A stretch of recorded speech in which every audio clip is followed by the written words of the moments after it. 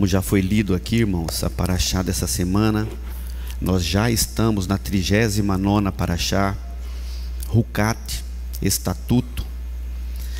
É uma paraxá interessante porque nesta paraxá nós vemos alguns conflitos ali, né, com o povo de Adonai, com outros povos.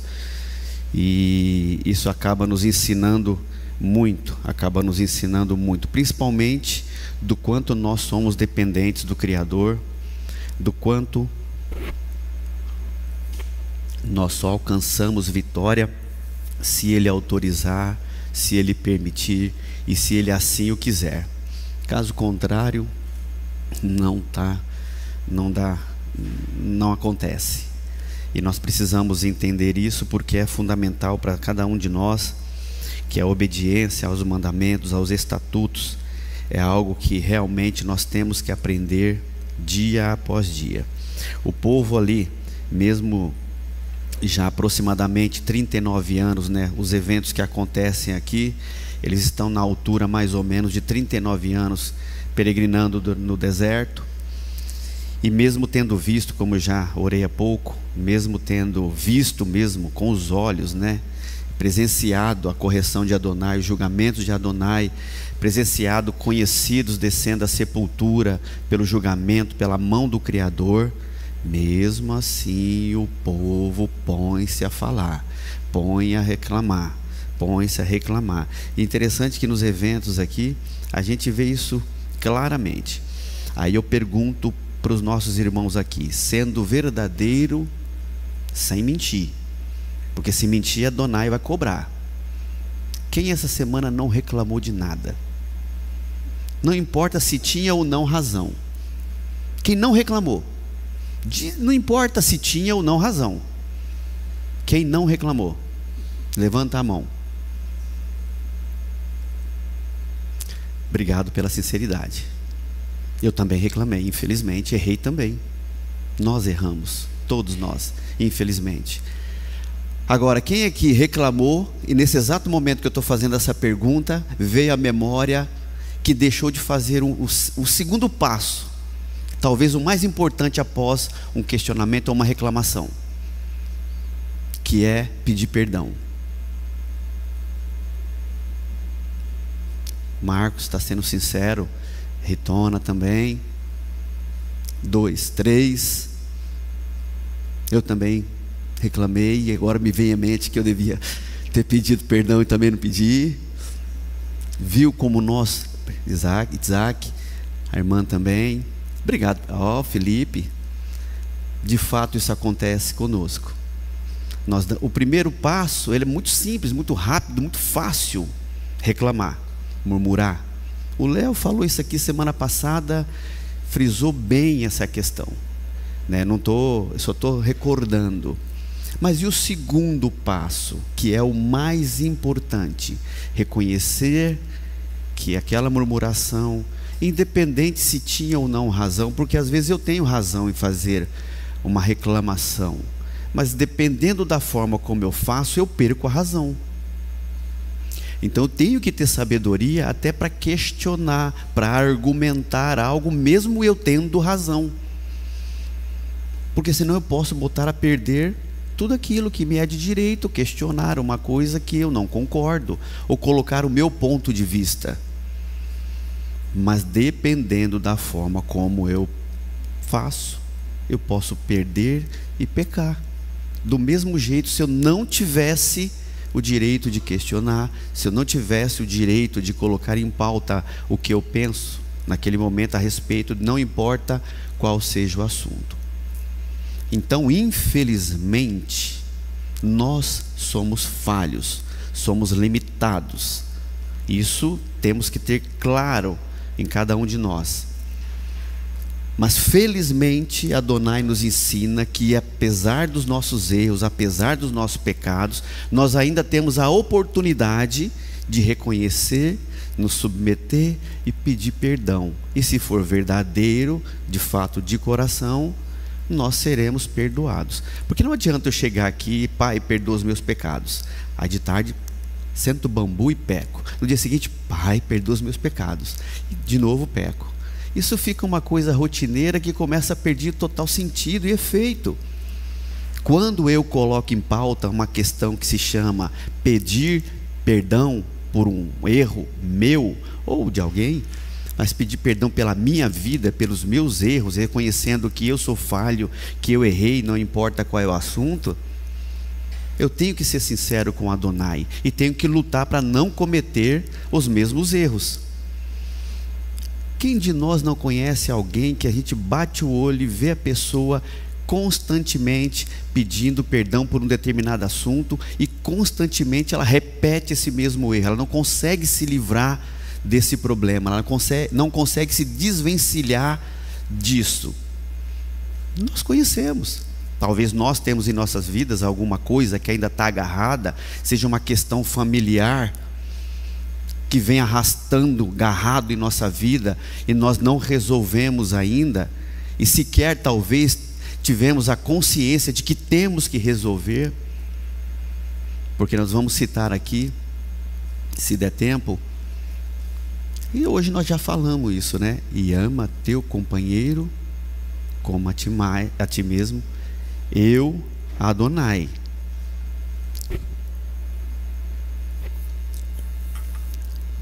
Eu posso até falar da boca para fora, né?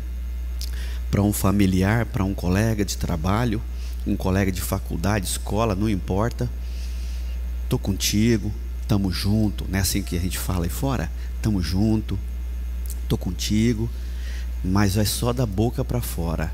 E o que está aqui dentro do coração é algo que nós vamos, que eu vou tentar compartilhar com vocês nessa manhã. É algo muito sério, é algo que precisa ser tratado e nós precisamos ter domínio sobre isso, porque senão acontece os problemas em nossas vidas, vários problemas acontecem. E ontem eu estava estudando e eu deixo o telefone um pouco afastado, né? E vibrou. E eu, por acaso, peguei. Era uma mensagem da tenda de Abraão, que é passado aqui para os irmãos, né? Cada, toda vez que tem uma paraxá, eles mandam a paraxá da semana, bem explicadinho ali. Então eu peguei um pedacinho, achei interessante colocar, porque, Léo, apesar de vários irmãos aqui já têm isso claro na cabeça, temos visitantes e temos que nos acompanhar pela internet, que é a diferença entre mandamento e estatuto. Resumido, bem resumido, bem resumido, bem resumido, tá? Eu vou falar aqui. Não vamos é, falar sobre isso hoje, mas eu acho que é importante, porque ora nós lemos mandamento, ora nós lemos estatuto na Bíblia, né? E na realidade parece a mesma coisa, mas lá no fundo não é bem a mesma coisa. Tem uma diferença. Mandamento, a mitzvah, é tudo aquilo que se impõe sobre nós, independente da nossa posição. Ou seja, o mandamento se impõe, quer eu aceite, quer eu não aceite, quer eu queira obedecer ou não, ele se impõe. E ponto. Quero conhecer, obrigado, Léo. Quero eu conheço ou não, ele se impõe. Ponto bem objetivo, bem simples. Estatuto é um pouquinho diferente, que é a Rukat, que é o nome da paraxá de hoje, né? É aquilo que se impõe sobre nós quando nos submetemos a ele. Para que haja cumprimento de um estatuto, depende do homem querer se sujeitar ao mandamento em questão. Então, a Rukat, o estatuto, depende de eu querer. Então, se tem uma determinação de obedecer e eu quero, eu me submeto. Se tem uma determinação de obedecer alguma coisa e eu não quero, eu não me submeto. E eu erro, mas eu não me submeto. Ele não se impõe como é o mandamento. O mandamento ele se impõe, eu querendo, não querendo, conhecendo, não conhecendo, como o Léo falou para nós. Então tem essa pequena diferença. O estatuto parte da minha vontade de querer me submeter a Ele e seguir. Gostaria que os irmãos abrissem a Bíblia de vocês em Números capítulo 20.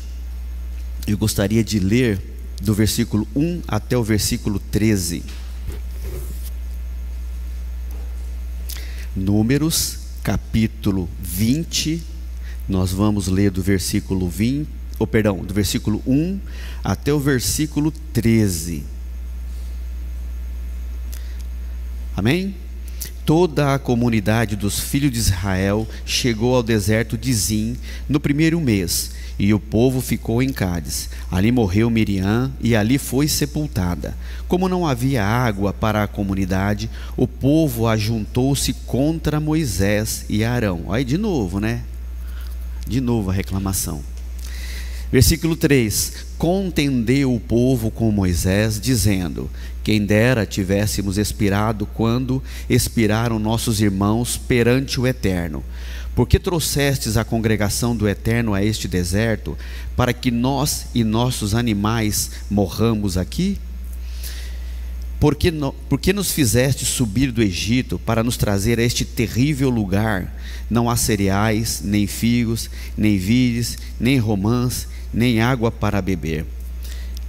Eu fico imaginando, se Adonai não desse o maná, como que ia ser? Não ia ter povo de Israel, né? Porque ia morrer de fome, né? Se, não, se Adonai não providenciasse a, a, o maná e a água como mais à frente, como? Para aquela multidão ia morrer, com certeza. Versículo 5 perdão, 6. Então Moisés e Arão se foram de diante do povo à entrada da tenda da congregação e se prostraram com a face em terra, e a glória do Eterno lhes apareceu. Disse o Eterno a Moisés: Toma a vara, ajunta o povo, tu e teu irmão Arão. Na presença deles, ordenai a rocha que dê as suas águas Assim lhes tirareis água da rocha e dareis a beber ao povo e aos seus animais. Então Moisés tomou a vara de diante do Eterno, como lhe tinha ordenado. Moisés e Arão reuniram o povo diante da rocha e lhes disseram: Ouvi agora, rebeldes, porventura tiraremos água desta rocha para vós? Então Moisés levantou a mão e feriu a rocha duas vezes com a sua vara. A água jorrou abundantemente, e a comunidade e os seus animais beberam. O Eterno, porém, disse a Moisés e Arão: Visto que não crestes em mim, para me santificardes diante dos filhos de Israel, não introduzireis este povo na terra que lhe dei estas são as águas de Meribá, onde os filhos de Israel contenderam com o Eterno, que neles se santificou. Estava falando sobre obedecer, né? Sobre reclamar. Moisés, a intimidade que ele tinha com Adonai, Arão também, né? O sumo sacerdote, o primeiro sumo sacerdote ali, a intimidade que eles tinham, e eles cometeram um erro aqui que custou-lhes a entrada na terra prometida. Um erro que ao princípio, quando a gente lia antigamente, né, e não entendia, passava desapercebido. Ele pegou, bateu lá, a água saiu, porque a partir do momento que a água jorrou, para os poucos entendidos ou que não presta atenção, cumpriu-se o que precisava, a água para o povo. Mas por trás disso tem toda uma questão da obediência de Moisés. E pela misericórdia do Eterno ao povo, não deixou de vir água por conta do erro de Arão e Moisés. Ou seja, a água veio para o povo, independente do pecado e do erro de Arão e de Moisés, pela misericórdia do Criador. E aqui nós vemos a consequência da desobediência. Desobedecer significa não cumprir uma ordem uma instrução, uma lei ou comando estabelecido por sua autoridade ou por princípios estabelecidos. É o ato de recusar-se a seguir o que foi solicitado ou exigido, muitas vezes resultando em consequências negativas, dependendo do contexto em que ocorre. No caso aqui, os dois perderam a oportunidade de entrarem à terra prometida. Aí eu falei lá no começo aqui, quem essa semana não reclamou? Todos nós reclamamos. Quem aqui lembrou de pedir perdão? Alguns levantaram a mão, que a maioria né, não, levantou, é, não levantou a mão porque nem todo mundo pediu perdão. E as consequências de uma desobediência, ou de uma murmuração, ou de um pecado? Ulisses, olha só, voltando ao estatuto, uhum. que nós estamos em carta, né?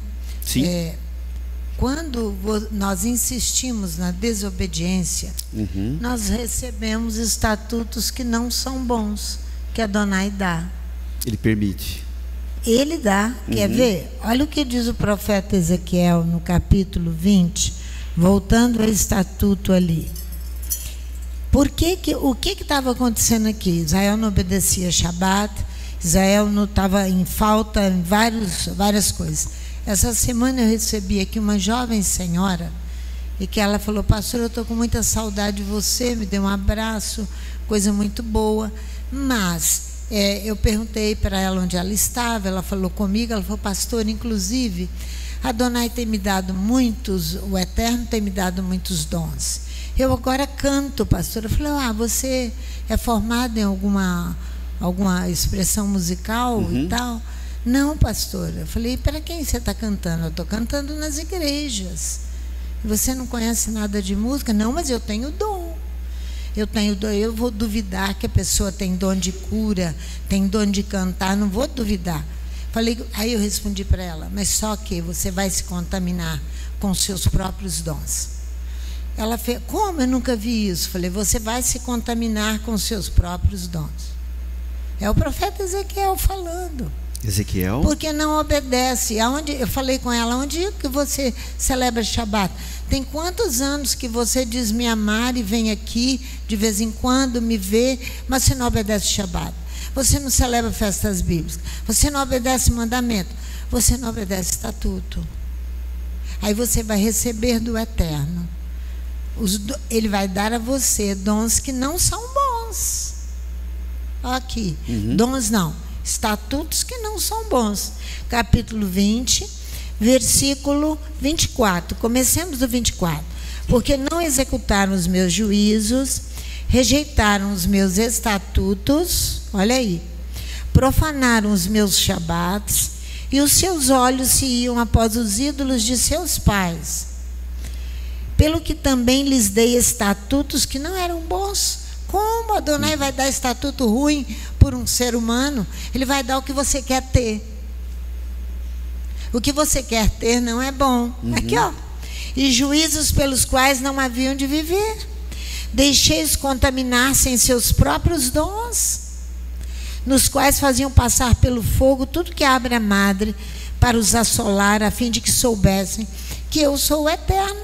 Olha aqui, olha, olha aqui à frente, versículo 32.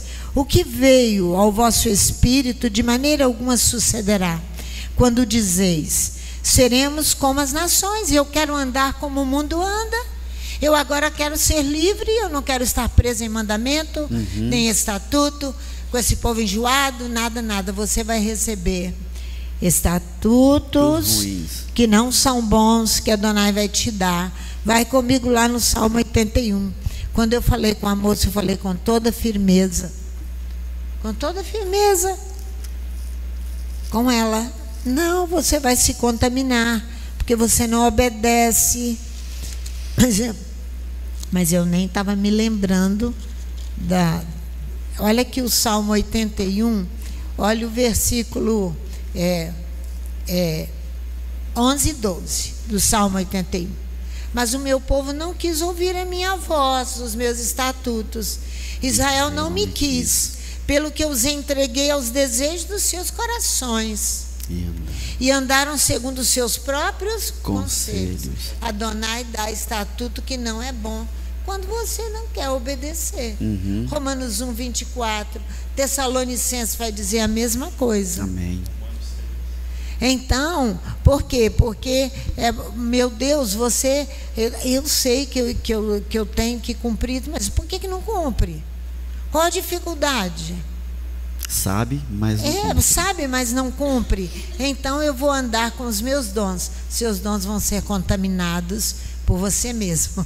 Vão ficar contra a própria pessoa. Vão ficar imundos e sujos. E aí o pior é que eu ainda falei, você sai fazendo isso publicamente e vai sujar outras pessoas que acham que você está com um dom totalmente purificado, Sim, sim. totalmente limpo Está contaminando outros. contaminando, Contaminando outros. outros. Essa é a, a severidade dessas desobediências. Sim.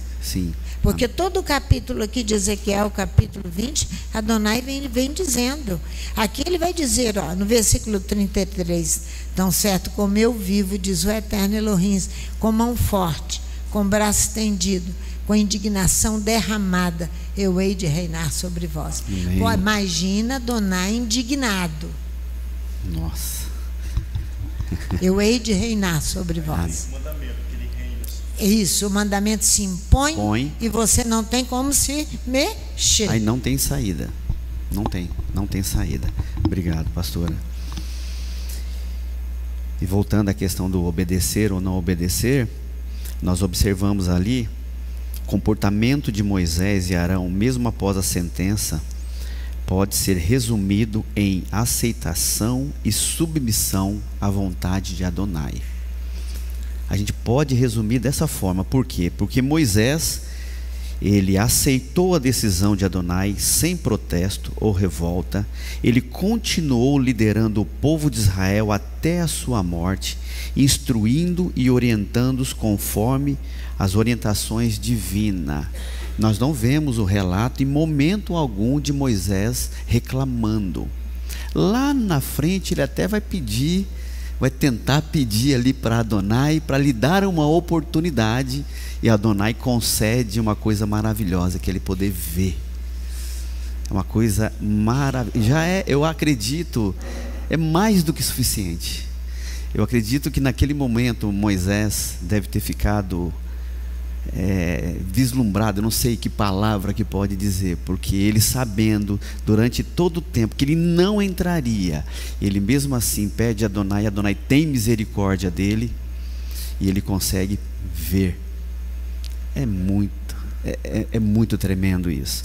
Arão, da mesma forma, em momento algum, a gente observa aqui Arão murmurando, Arão questionando, reclamando que ele estava trabalhando muito, ele estava trabalhando demais na casa, estava trabalhando demais para o povo, que o povo reclama muito, que o povo murmura demais, que ser sumo sacerdote é muito pesado, porque tirar aquelas roupas, colocar aquelas roupas, limpar isso, limpar aquilo, fazer o serviço para o povo é muito pesado, isso me cansa demais. Não tem. Não tem. E aí, quando a gente vai aqui para o capítulo, logo à frente, né? Eu nem ia passar nessa parte, não, mas é interessante falar rapidamente. Quando nós vemos aqui, logo à frente, no, no capítulo 20, versículo 22, o exemplo de Arão para o próprio filho, né? O exemplo, exemplo de Arão para o seu filho Eleazar. A frieza com que Moisés a frieza com que Arão, a frieza com que o filho Eleazar, sabendo que está tirando a roupa do pai,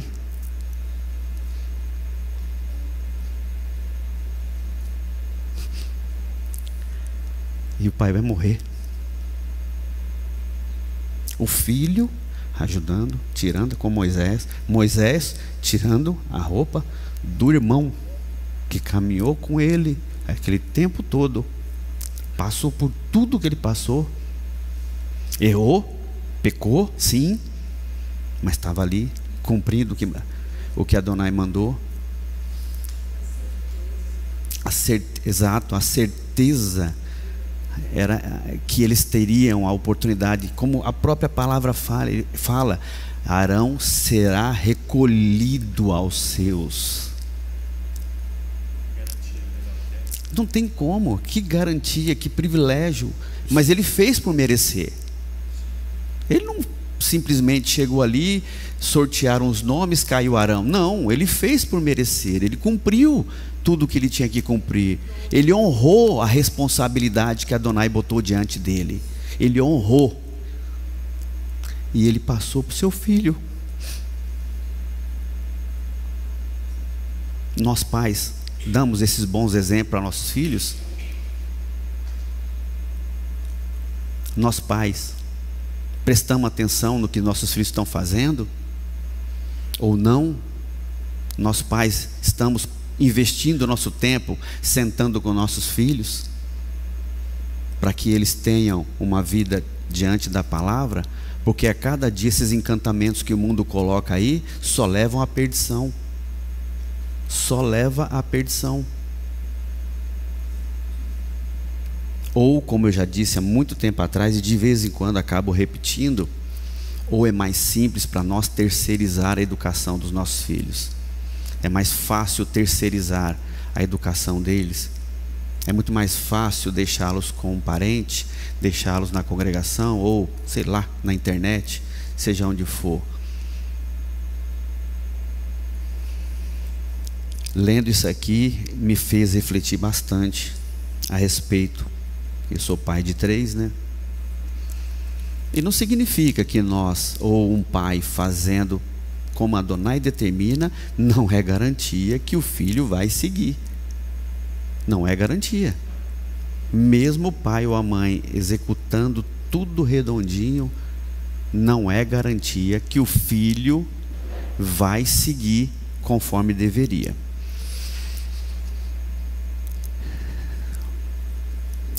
Arão e Moisés mostraram submissão e fidelidade a Adonai, mesmo diante da consequência severa de não entrarem na terra prometida. O interessante é que esse episódio né, enfatiza uma importância muito grande da obediência e da confiança em Adonai, mesmo quando as consequências eh, são difíceis de aceitar pessoalmente. A consequência para o erro dos dois hum, poucos engoliriam, poucos aceitariam. Pouquíssimos. Para poder aceitar no nível que eles aceitaram, o nível de intimidade com Adonai era muito alto. Muito alto. Após essa desobediência de Moisés e Arão, a gente começa seguindo na Paraxá, ver os desafios e a gente começa logo por pelo capítulo 20, versículo 14 até o versículo 21. Gostaria de ler com os irmãos. É interessante que são três, um, dois, três, quatro, perdão. São quatro confrontos que nós lemos dentro dessa paraxá de Israel com outros povos. Tem o Perdão, são três confrontos e um não houve confronto, que é com Edom, os Edomitas. Vamos ler aqui? 14 do capítulo 20 de Números. Moisés enviou a Cádiz mensageiros ao rei de Edom, dizendo: Assim diz teu irmão Israel: Sabes todo o trabalho que nos sobreveio, como nossos pais desceram ao Egito e vivemos lá muitos anos. Os egípcios nos maltrataram e nós a, a nós e a nossos pais. Mas quando clamamos ao Eterno, ele ouviu a nossa voz, enviou um anjo e nos tirou do Egito. Agora estamos em Cádiz, cidade na extremidade dos teus termos. Deixa-nos passar pela tua terra.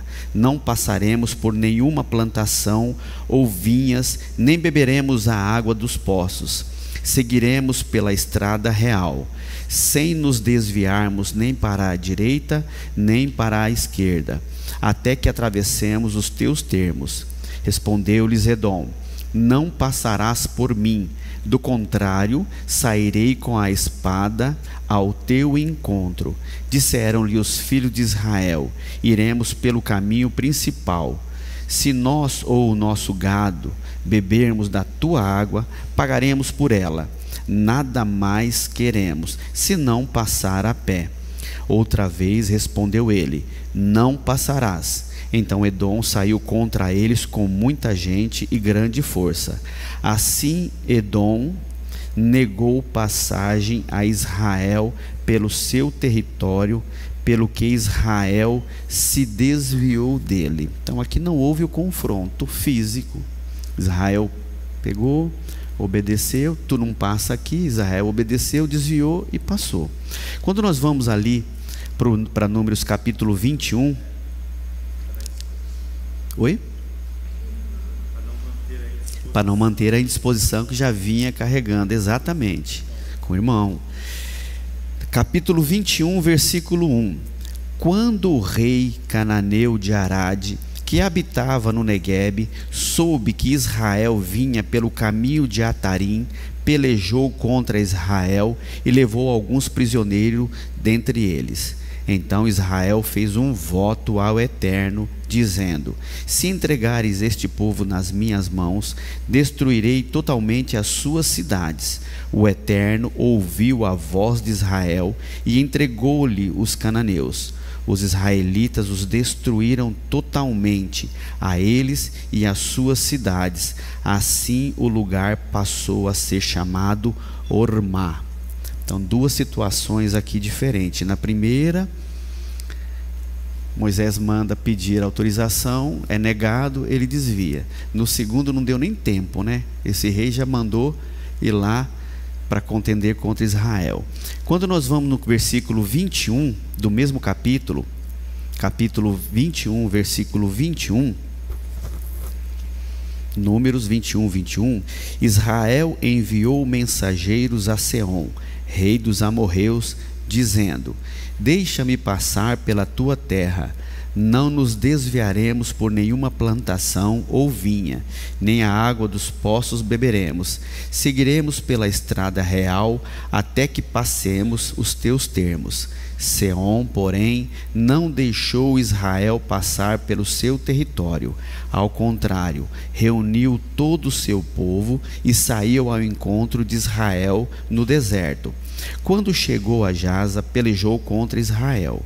Israel, porém, o feriu ao fio da espada e apoderou-se da sua terra, desde Arnon até Jaboque, fronteira dos filhos de Amon, porque esta fronteira era fortificada. Assim Israel tomou todas estas cidades dos amorreus e as ocupou, inclusive Esbom e a todas as suas aldeias. Esbom era a cidade de Seom, rei dos amorreus, que fez guerra ao primeiro rei dos moabitas e tomou dele toda a sua terra até Arnon. Por isso dizem os poetas: Vinde a Esbom, edifique-se e estabeleça-se a cidade de Seom Fogo saiu de Esbom e uma chama da cidade de Seom, e consumiu Ar dos Moabitas e os senhores dos altos de Arnon. Ai de ti, Moabe, perdido estás, povo de Campos. Entregou seus filhos como fugitivo e suas filhas como cativas a Seom, rei dos amorreus. Nós, porém, os subvertemos Esbom está destruída até de bom. Nós os assolamos até Nofá, que se estende até Medeba. 31. Assim Israel habitou na terra dos amorreus. Depois Moisés mandou espiar a Jazer, de modo que os israelitas a conquistaram, bem como as suas aldeias, e desposaram os amorreus que estavam ali. Em seguida viraram-se e subiram pelo caminho de Bazã. E Og, rei de Bazã, com todo o seu exército, marchou contra eles para travar batalha em Edrei. Disse o Eterno a Moisés: Não o temas, pois eu o dei nas tuas mãos a ele, a todo o seu povo e a sua terra, e tu lhes farás como fizestes a Seom, rei dos amorreus, que habitava em Esbom de tal maneira o feriram a seus filhos e a todo o seu povo, que nenhum deles escapou, e tomaram posse da sua terra. Obedeceram a Adonai, e Adonai lhe deu tranquilidade que eles pudessem ir à batalha, e assim o povo de Israel conseguiu. O que, que nós vemos em comum nessas, nesses eventos aqui, independente se teve o confronto ali com o irmão Edom ou não. Uma pessoa briga com a outra à toa. Hum? Normalmente não. Normalmente, mas não, não é correto dizer. Vou perguntar de novo. Uma pessoa briga com outra à toa? Por nada, a troco de nada? Sim ou não? Normalmente, não. Normalmente, não. Correto. E briga muitas vezes porque falta o entendimento.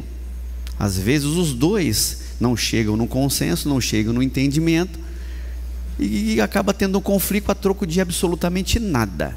Tudo por conta do eu, da vontade, da soberba, da arrogância que impera naquele momento.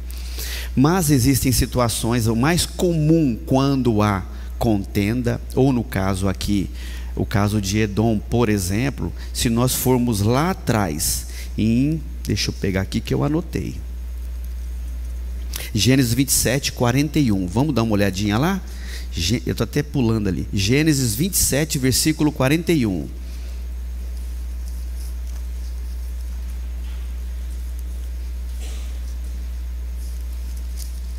Gênesis capítulo 27, versículo 41. Após a bênção ali que foi proferida, né, a Jacó, e depois, quando chegou Esaú, Isaac profere a bênção para Esaú, no versículo 41. Versículo 41: Esaú passou a odiar a Jacó por causa da bênção com que seu pai o tinha abençoado, e disse consigo: Os dias de luto por meu pai estão próximos. Então matarei a Jacó, meu irmão.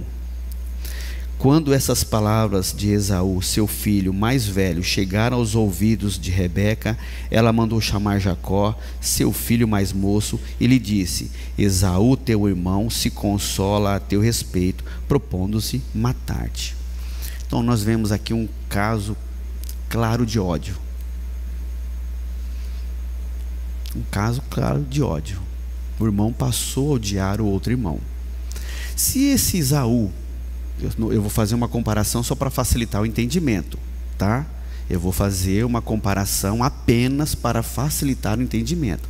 Mas se Esaú tivesse a, a, a mesma capacidade de Arão e Moisés, numa situação como essa,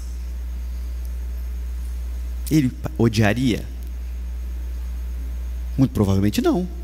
Ele se submeteria ele obedeceria, independente de como a situação dele ficou. E isso precisa estar claro para cada um de nós. Porque quando alguma coisa acontece conosco, e se nós não temos o autocontrole, se nós não tivermos o autocontrole, não tivermos um claro entendimento de que temos que ter paciência, temos que ter prudência, essa aqui faz um gesto toda vez assim, ó. Né, que a senhora faz? Pedindo tempo para raciocinar e não agir com impulso, não agir pelo calor do momento, porque irá, todo mundo ira. É normal, a própria palavra fala: irai-vos, mas não pequeis. Então, se eu não tiver esse cuidado, se eu não tiver uma adesão com o Criador, vai acontecer exatamente a mesma coisa que aconteceu com Esaú e acontece nos dias de hoje muito facilmente, não é verdade? E aí eu queria dizer para vocês o seguinte: a contenda ali com Edom, Edom não permitiu, porque tinha ali um ranço agarrado de anos e anos ali, como a senhora disse lá atrás. Tinha um ranço de ódio agarrado ali. Coisas mal resolvidas entre familiares. Correto? Coisas mal resolvidas entre familiares. Quando eles vão ali, vem o rei de Armon, por que, que o rei contendeu? Só por medo? Muito provavelmente ele tinha ódio também. Apesar de não estar explícito aqui, muito provavelmente. Da mesma forma, Seon e Og. Edom, o rei de Arad, Seon e Og, nutriram hostilidades e sentimento de ódio em relação a Israel. Aí nós entramos nessa palavrinha chamada ódio. E aí eu gostaria que vocês ouvissem com clareza Vou falar bem devagar. O que é ódio? Ódio é um sentimento intenso de aversão e hostilidade, muitas vezes alimentado por diferenças, injustiças, é, injustiças percebidas ou mesmo pela falta daquilo que eu falei, compreensão mútua, quando não há entendimento entre as partes. Na Bíblia, ele é, ele é contrastado com o amor, que é visto como vínculo que une as pessoas e promove a reconciliação. Nós não vamos falar de amor aqui hoje, tá? Nós vamos falar do ódio. No hebraico, o termo para ódio, para ódio é frequentemente traduzido como sinar, sinar, acho que é assim que pronuncia, denotando uma aversão intensa e uma separação emocional. Em contraste, o oposto desse sentimento é frequentemente expresso pelo termo aravá, que significa amor e cuidado. A prática de substituir o ódio pelo amor, como ensinado na palavra, na Bíblia, né, não apenas restaura relacionamentos, mas também reflete a graça e compaixões divina. Então, quando a gente vê essa palavrinha ódio, que hipótese alguma isso pode estar na vida de um ser humano, porque o ódio leva ao pecado. O ódio leva ao pecado. O ódio leva ao pecado. E o grave problema, quando alguém tem isso lá dentro que está mal resolvido, é porque da boca para fora ela profere aquilo que eu disse: estamos junto, tá tudo bem, mas lá no seu interior ela está ali, ó, se remoendo de ódio pelo outro, doido para avançar no outro e causar algum tipo de, de mal. Se nós formos lá em Deuteronômio capítulo 2, vamos lá comigo? Eu vou dar uma pequena acelerada aqui para eu conseguir concluir pelo menos a parte ódio. E aí na parte da tarde nós vamos ver mais três pontos ligados ao ódio. Porque eu já percebi que não vai dar tempo. Deuteronômio, capítulo 2,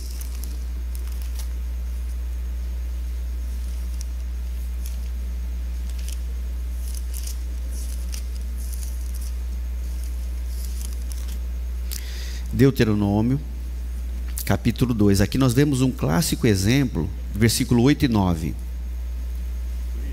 Oi. Microfone. É microfone. Não, eu ia te pedir para você subir um pouquinho ao verso. Então faz a gentileza, lê para mim. Ali no verso, no capítulo 2 que você falou, eu já tinha colocado aqui, marcado com o dedo, o verso 4. Uhum.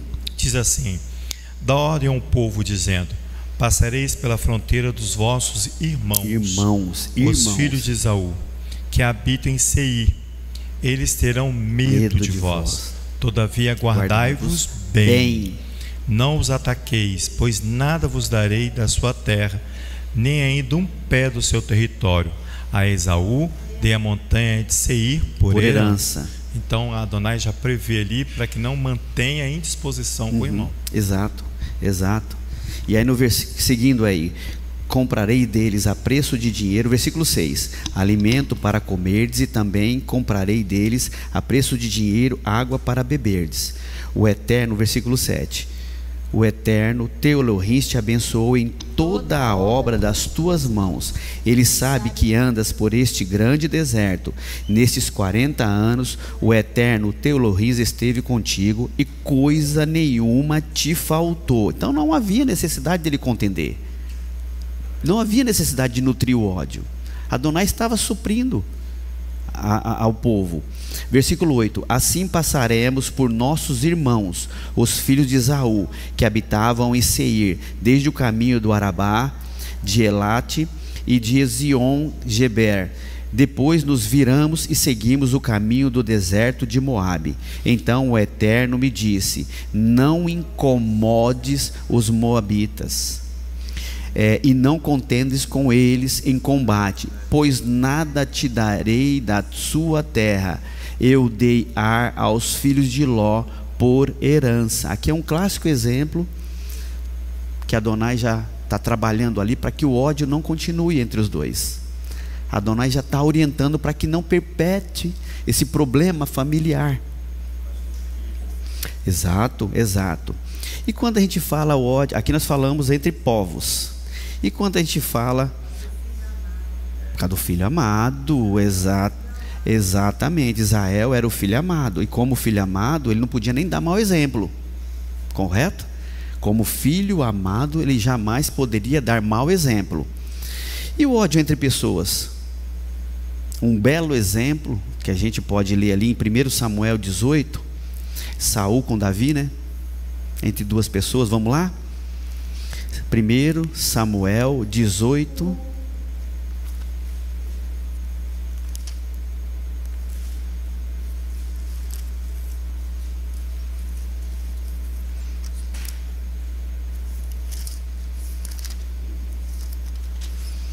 1 Samuel 18, versículo 6. Deixa eu ver se eu estou certo. Estou.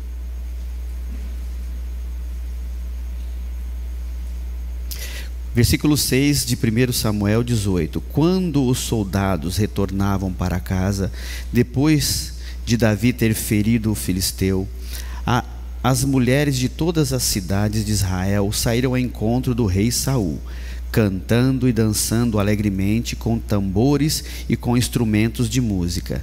Versículo 7. As mulheres dançando cantavam umas para as outras dizendo: Saul feriu os seus milhares, mas Davi os seus dez milhares. Então Saul se indignou muito, pois estas palavras lhe desagradaram muito, e pensou: dez milhares, é, perdão, dez milhares deram a Davi e a mim somente milhares, na verdade, o que lhe falta, senão só o reino? É, eu falei até qual versículo 14. Daquele dia em diante, Saul trazia Davi sob suspeita. No dia seguinte, um espírito maligno da parte de Elohim se apoderou de Saul. Ele começou a profetizar em sua casa, enquanto Davi tocava a harpa, como nos outros dias. Saul trazia na mão uma lança e a atirou, dizendo para si mesmo: Encravarei Davi na parede. Mas Davi se desviou dele duas vezes. Versículo 12: Saul temia a Davi, porque o Eterno era com este e se tinha retirado de Saul pelo que Saul o afastou de si e o pôs por chefe de mil, e ele saía e entrava diante do povo. Davi se saía muito bem em todas as suas expedições, porque o Eterno era com ele. E o microfone é bom. Que ficou bem explícito o dom contaminado de Saul. Exato. Tá vendo? O Espírito se apoderou dele aqui. Exatamente. Daú é, perdão, Davi estava tranquilo. Davi tava, isto é a contenda entre duas pessoas que pode. Começa com a simples hostilidade. Que começa com a simples hostilidade. Exato. Depois, se você não der basta naquilo, ela vai continuar e se tornará um Normalmente, é, começa, começa desse com a tamanho. simples hostilidade. Exato. Quando o começa de um lado, o outro não baixa não escuta, não, não se afasta para evitar, não tenta se aproximar. Uma reconciliação. Uma reconciliação. Se não tenta a reconciliação, não se humilha e vai até o outro. Independente, irmãos, é importante entendermos que independente se o outro está certo, independente se o outro está errado, a prudência, a sabedoria, a calma tem que imperar. O tempo vai mostrar tudo, tudo isso. O primeiro momento, se eu ajo conforme eu penso, eu erro, eu peco. Mas se eu ganho tempo para ter prudência, sabedoria, para orar, buscar o entendimento em Adonai, buscar a orientação do Criador, pedir para que o Pai faça uma intervenção, se for o caso divina, no outro, para que haja um entendimento, não vai ter problema. E se por acaso o outro, mesmo assim, quiser continuar nutrindo esse problema, a parte que cabe a mim de não querer isso, não nutrir isso, e o meu coração está puro, está limpo, eu estou bem com o Criador. O Criador conhece o meu coração e conhece o outro coração. Se o outro coração vira para mim, meu irmão, dá a mão aqui, eu te perdoo, não, fica tranquilo, meu irmão, eu te amo tanto, tanto, tanto, tanto. Aí ele vira as costas. esse cara eu pego ele. Eu pego ele. Um dia deixa ele comigo. Aí ele vira para mim: opa, irmão, tudo bem? Quando é que a gente vai tomar aquele cafezinho junto? Hein? Doido para botar um veneno no café. Não é? Isso acontece. Mas do outro lado, quando há sinceridade, a Donai conhece. E a Donai vai proteger também, tá? A Donai vai proteger. Pode falar. É, eu lembrei.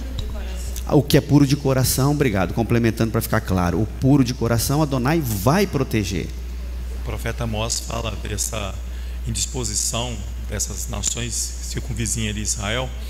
E ali no verso. Na onde? No, o profeta Amós, no capítulo 1 em todo ele, ele vai falar sobre essa indisposição, né? O verso 11 diz assim: Assim diz o Eterno: Por três transgressões de Edom e por quatro não retirarei o castigo, porque perseguiu o seu irmão a espada. Tá vendo? Manteve a indisposição e o ódio contra o irmão. Baniu toda a misericórdia. Uhum. Tá vendo? Não dá honra a Adonai e retém a sua indignação para sempre. Então, essas são as, as três grandes transgressões que Adonai não retirará é, é, é, é, o castigo sobre Edom, uhum. porque manteve a indisposição contra o irmão. Exato. E o interessante, irmãos, é o seguinte: existem duas formas, né? Ou, bom, que me vem em mente agora, de eu nutrir isso, o ódio.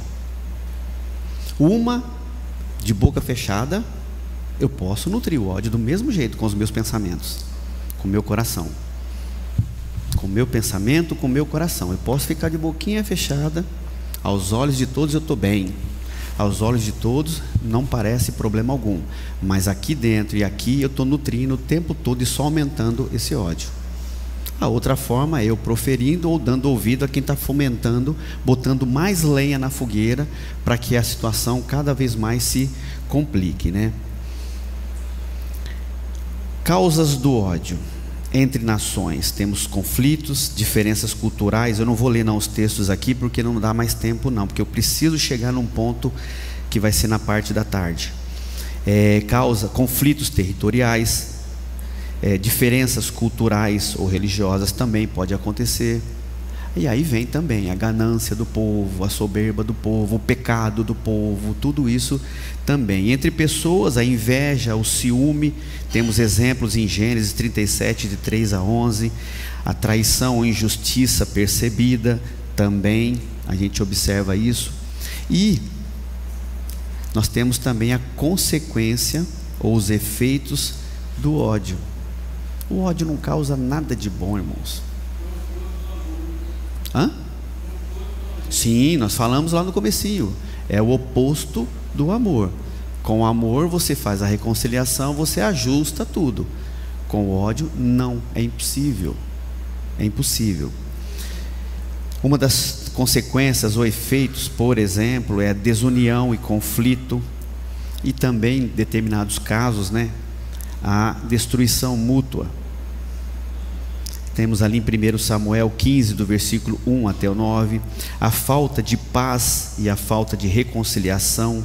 O ódio impede a verdadeira paz e a reconciliação, perpetuando um ciclo de violência e retaliação. A ausência de reconciliação, por exemplo, a gente quando olha para essa questão aqui, perpetuando um ciclo de violência e retaliação. Eu tenho ódio no meu coração, você tem ódio no seu coração. Eu tento te afetar, você revida. Eu pego e revido contra ti. Você vai isso vai só transformando num problema. Mas o que eu estou falando aqui, me perdoe, irmão. Todo mundo sabe disso, né? Ou estou errado? Hã? Todo mundo sabe. Todo mundo sabe disso. Ou estou errado? Todo mundo sabe disso. Oi. Perdão, eu não estou te ouvindo. Fruto Ah, o fruto do Espírito, sim. Domínio próprio, exatamente. Exato, Marcos, obrigado.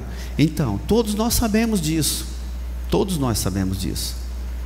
Mas como eu disse lá no começo, não só, porque olha só, irmãos, também precisa estar claro para nós que a desobediência, dependendo do motivo, do grau da pessoa, ela pode levar ao ódio. A desobediência de uma pessoa pode transformar no ódio. Eu não quero obedecer, eu passo a odiar aquele povo que obedece por conta dos meus erros, e isso pode ser de forma tal crescendo em mim ao ponto de eu começar a ter ódio. Ulisses, era isso aí que é, eu acho que você precisa bater bem na nossa cabeça, igual um martelo na cabeça do prego. Uhum. Porque você entrou falando de ódio. E ódio é um sentimento perigoso. Muito. Mas o problema do ódio, você falou, eu posso odiar o irmão, as nações podem se odiar, mas nós temos que entender que, biblicamente falando, tem uma natureza comum entre todas essas formas de se expressar o ódio, seja pessoal, seja entre nações. E nós temos que discernir isso por causa da nossa vida cotidiana. Uhum. O, o, sujeito torce para o Flamengo, ele odeia o Fluminense. Um exemplo okay? fácil. Futebol. Fácil. Isso biblicamente nem se discute, porque é uma coisa humana, uma coisa totalmente 100% humana. Sem é. valor. Sem valor, é um amor é, totalmente é, desconsiderável uhum. biblicamente, porque acaba virando um ídolo, acaba virando uma bandeira. Mas aqui, quando você entra no capítulo que você leu aqui com a gente, o capítulo 20, o texto da Torá vai dizer assim: ó, toda a congregação dos filhos de Israel chegou ao deserto de Zin no primeiro mês, no primeiro mês do quadragésimo ano. Quem era esta congregação? Os que nasceram no deserto. Sim. Então não é a mesma geração do capítulo 14 que sai do Egito e reclama do mesmo jeito. Ali, a reclamação no capítulo 14 era o quê?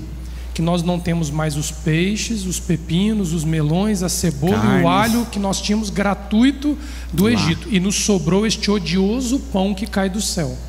Esse, é, como é que é? O André Chorar que traduz como é, fastioso pão. Uhum. Então tinha uma rejeição ao pão enorme. Aquela geração morre. E aqui agora, 40 anos depois, Moisés está lidando com uma reclamação diferente. Porque essa geração que nasceu, eles vão dizer assim, ó: Por que nos fizeste subir do Egito, verso 5, para nos trazer a este lugar odioso, esse lugar terrível? Não há cereais, nem figos, nem vides, nem romãs, nem água para beber. Não era saudade do Egito. Uh-uh. Era descrença com a terra que daria o figo, a romã. Então eles, já, eles aqui, nós precisamos entender que houve um conflito que levou Moisés e Arão a sofrerem este terrível essa terrível penalidade de Adonai, porque eles confrontaram o ódio à promessa de Adonai. Nossa. Aqui que nós precisamos entender que quando envolve mandamento, estatuto, a Torá como um todo, no fundo, no fundo, o ódio nutrido de um pelo outro não é pelo ser humano, uhum. mas é pelo amor e a fidelidade do outro à Torá. Torá. Isso é o mais grave. O amor que Israel tem pela Torá, com todos os erros que Israel tem até o dia de hoje, é a causa base do ódio de Edom, de Moabe e todos, de todas as nações de todas, vizinhas. Exato.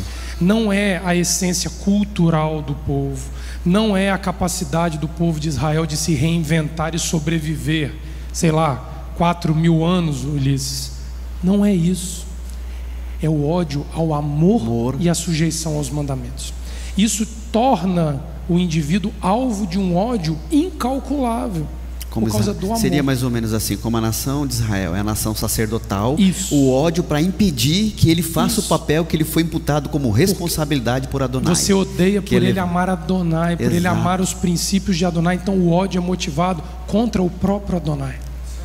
Então Exato. este é o ódio que passa de geração em geração e que 40 Anos anos depois, depois. aqui, os filhos que viram os pais caírem mortos no deserto continuaram nutrindo o ódio pela promessa, o ódio por uma terra que você teria que trabalhar, que o pão não cairia mais do céu. Amém. Então isso é um ódio, Ulisses, que o ser humano, se ele tiver, ele está tendo. Esquece se o problema é com Leomar, é com você. Comigo, é. Eu estou odiando a palavra de Adonai, porque tudo que você faz em obediência à Torá te leva a expor em mim o que eu não faço.